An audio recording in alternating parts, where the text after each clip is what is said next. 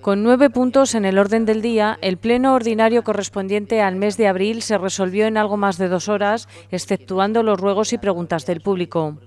Una vez más, la sesión comenzó con un minuto de silencio por las 24 mujeres que han sido víctimas de la violencia, entre las que se ha visto afectada una familia del vecino del municipio de Campo de Quiptana.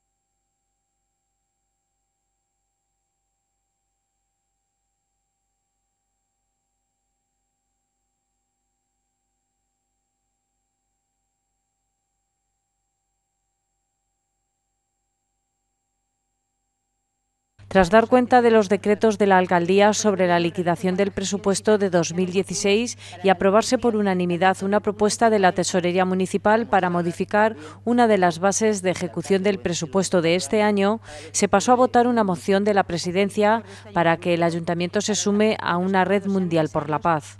Se votó por unanimidad, pero ni siquiera en este asunto faltó la polémica. Pero yo creo que podemos hacer mucho. Alcázar tiene una historia, una historia reciente, consolidada, de ayuda al tercer mundo en todos sus aspectos, coordinada directamente en un Consejo de Cooperación que, a pesar de los cambios políticos que se han producido a lo largo de la democracia, ha funcionado y ha funcionado siempre bien, sin que nadie obtuviese un protagonismo por encima de otros, sino con la total normalidad de ayudar a quienes más nos necesitan, aunque no estén cerca en nuestras proximidades porque no sean vecinos. La paz auténtica es aquella que se opone a las guerras, pero también a toda discriminación, violencia u opresión que impide el desarrollo digno de las personas y su consecución. y su consecución hay que intentarla en todos los órdenes de la vida, en la realidad social y en el espacio educativo. Impulsarla desde las administraciones, como estamos manifestando hoy mismo en este Pleno y nos estamos comprometiendo, es una un objetivo prioritario. Seguimos aquí pensando globalmente y actuando dentro de nuestras posibilidades, es decir, localmente. Por eso proponemos que la asunción de esta moción implique de manera transversal a todos los ejes de acción del municipio y que se busque siempre una justa distribución de la riqueza.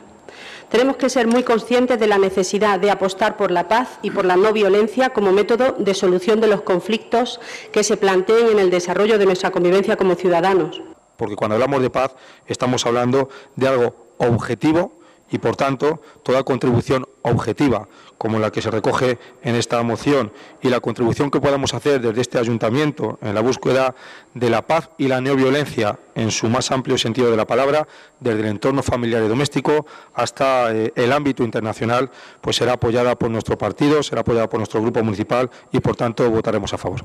La misión, en definitiva, de la red de alcaldes por la paz, que hoy nos vamos a sumar como como Ayuntamiento de Alcázar de San Juan es construir solidaridad.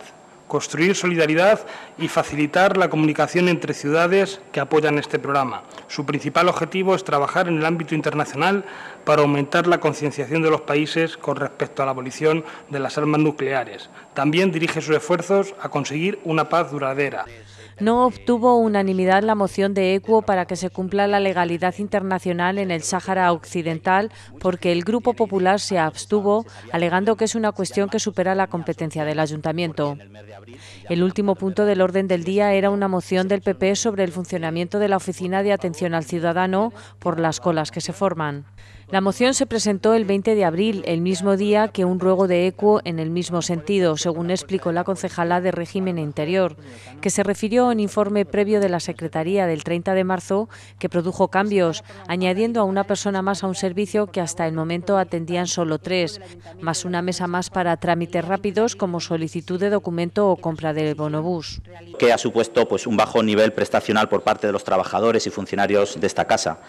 Eso también ha generado cierto rechazo por parte de los vecinos, lo que nos ha generado bueno, pues esta necesidad que eh, se convoque esta mesa general de negociación por parte del excelentísimo ayuntamiento.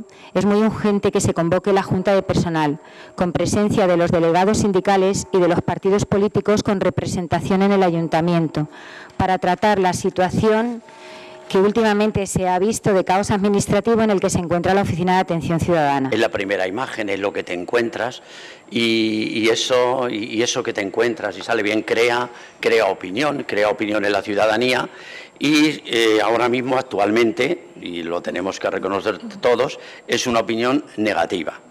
Pues bien, yo creo que ahora mismo hay un momento, ¿no? Con esta moción eh, vamos a demostrar todos, todos los grupos, nuestra buena disposición a solucionar un problema que estamos viendo. Es que parece que ustedes, al plantear la moción y ustedes, al plantear el ruego, lo que vienen aquí a traer al Pleno, lo que a mí me da la impresión que quieren decirle a los ciudadanos es que nosotros no nos hemos enterado de nada y no hemos hecho absolutamente nada desde el 30 de marzo, en el que la señora secretaria hace el informe correspondiente diciendo la necesidad que hay que ampliar, pues es eh, lo que se ha hecho. Es decir, nosotros nos ponemos manos a la obra en ese sentido. Se aprobó con la abstención del Grupo Socialista la convocatoria de una mesa de negociación para valorar la reorganización de este servicio. La sesión continuaba con una moción urgente del Partido Popular para ayudar a Cruz Roja por la pérdida de una ambulancia en un incendio en su garaje.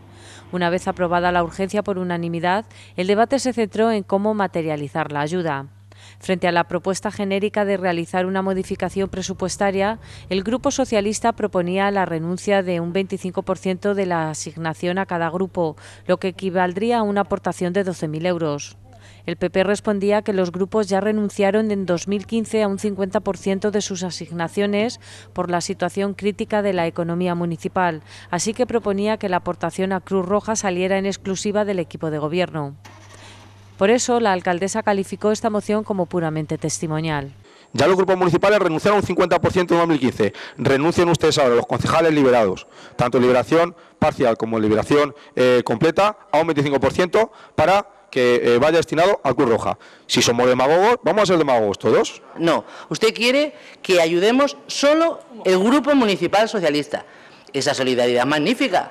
Claro, es una solidaridad estupenda, estupenda, estupenda. Usted quiere que solamente colaboremos el Grupo Municipal Socialista.